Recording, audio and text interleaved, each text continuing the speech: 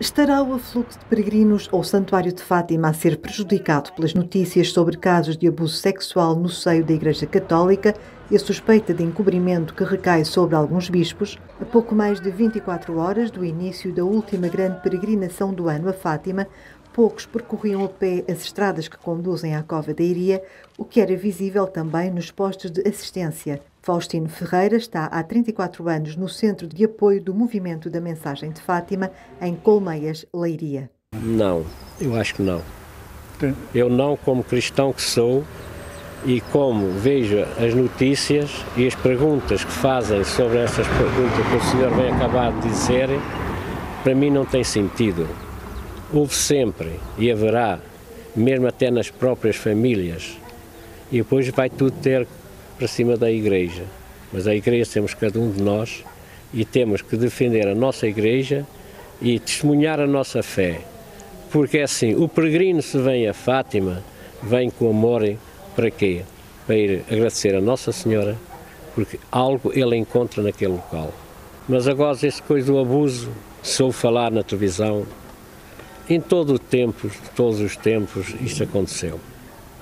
Temos que realmente unirmos uns aos outros e que isto não se estenda, porque isto é um pecado que quer atrapalhar a nossa igreja, mas não vai conseguir, porque Nossa Senhora e o seu Filho Jesus estão conosco. É aqui que nós temos de dar o nosso testemunho de cristãos que somos e a fé que nos vai na alma.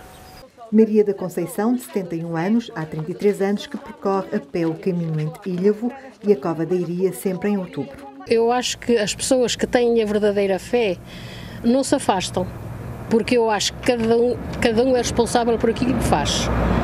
É, nós damos a culpa sempre para a Igreja, porque os padres são homens, como outros quaisquer. Eles é que têm que sentir no coração deles, não é? O mal que estão a fazer, não é? Porque são crianças.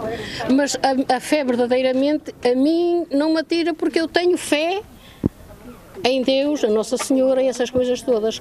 Se eles terão que ter o castigo por mal que fazem, pois terão. Eu estou de acordo que o seja. Mas eu acho que se as pessoas perdem a fé por isso é porque também não tinham uma fé convicta. Há um afastamento, sim, isso há. Isso há porque as pessoas começam -se a afastar, é como eu digo, porque se calhar não têm aquela fé forte de, no coração em Deus e na Nossa Senhora. Porque nós não temos que nos. Se o meu vizinho é ladrão, eu não tenho culpa.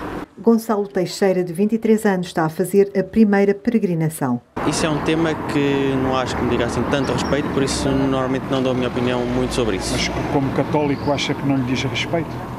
Não é o como católico não, não me dizer respeito. Cada um vê, vê a religião da sua forma e nesse aspecto esses abusos não são, não são todos os casos, são muitas vezes casos, casos específicos de algumas pessoas, por isso também não se pode generalizar. Zeferino Gonçalves, de 60 anos, cumpre os quilómetros que separam Lessa da Palmeira de Fátima quem é devoto, nomeadamente da Nossa Senhora de Fátima, eh, embora esteja englobada naquilo que é o catolicismo, eh, não, não, tem tanta envolvência, tem tanta crença que poder, eh, não vai, na minha, na minha perspectiva, eh, eh, alterar o pensamento também hormol de peregrinos, nomeadamente.